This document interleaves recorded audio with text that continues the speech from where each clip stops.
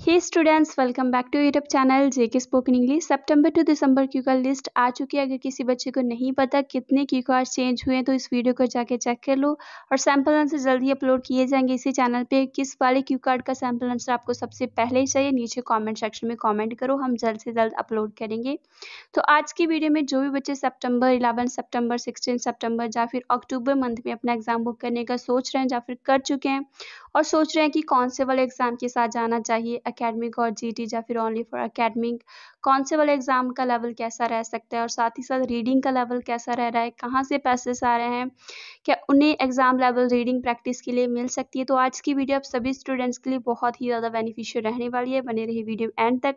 Video अच्छी लगती है लेक्चर कॉमेंट करके जो बताना। स्टूडेंट्स लॉकडाउन के बाद ऑलमोस्ट रीडिंग का लेवल ईजी मॉडरेट के बीच में रह रहा है। Hardly four to five exams के बाद रीडिंग का लेवल अप आता है। जैसे भी हम रिसेंट फोर्थ सेप्टेम्बर की बात करें मॉर्निंग स्लॉट में जो रीडिंग आई, उसमें जो पैसेज आए first passage how to be happy के रिगार्डिंग था सेकंड क्लाइमेट के था थर्ड वन साइकोलॉजी के ऊपर के अकॉर्डिंग पैसेज काफ़ी ज़्यादा इजी लग रहे हैं बट लेवल काफ़ी ज़्यादा अप था मॉडरेट प्लस लेवल की थी। आप किसी भी वीडियो में जाए फोर्थ सितंबर मॉर्निंग स्लॉट आप जाके कमेंट चेक कर सकते हैं कि रीडिंग का लेवल काफ़ी ज़्यादा अप आया। मॉडरेट प्लस की लेवल की रीडिंग आपको देखने को मिली। स्टूडेंट्स, अगर हम बात करें इवनिंग स्लॉट के लेवल की तो ईजी मॉडरेट रहा। यहाँ पे एग्जैक्ट लेवल की अगर हम बात करें, सौ में से अस्सी स्टूडेंट्स के अकॉर्डिंग मॉर्निंग स्लॉट वाला जो एग्ज़ाम था, वो मॉडरेट प्लस था। आप किसी भी वीडियो में जाके कमेंट चेक कर सकते हैं, काफ़ी ज़्यादा अप लेवल रहा। तो अभी जो आगे आने वाली डेट्स हैं तो तब जो मॉडरेट लेवल की है, वो स्टार्टिंग ऑफ़ द मंथ ही आ चुकी है। तो तब इजी रहने के चांसेस काफ़ी ज़्यादा है। रेस्ट ये डिपेंड करता है स्टूडेंट पे, उनकी प्रेपरेशन पे। अगर उनकी प्रैक्टिस ही नहीं है, वो प्रिपेयर ही नहीं है। और जे एक वीडियो देख के वो सोच रहे हैं कि एग्ज़ाम में वो ईजी आ रहा है, मैं एग्ज़ाम जल्दी जल्दी में बुक कर लेता हूँ।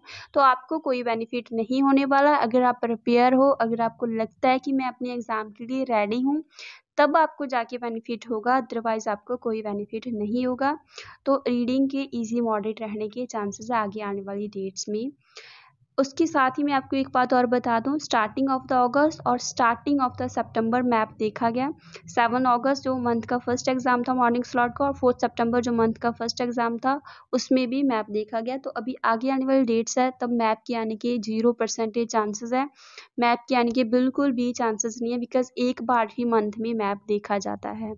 तो आप बाकी के लाइन बार पाई इन सबको प्रिपेयर कर सकते हो अगर आप सेप्टेम्बर मंथ में अपना एग्ज़ाम कंडक्ट करने जा रहे हैं। आपको फुल प्रिपेयर करके जाओ। अपने एग्ज़ाम के लिए। So this is all word this video video अच्छी लगती है लाइक शेयर कमेंट करके जो बताना। और साथ ही साथ हमें इंस्टाग्राम और टेलीग्राम भी फॉलो करना ना भूलना। Thanks for watching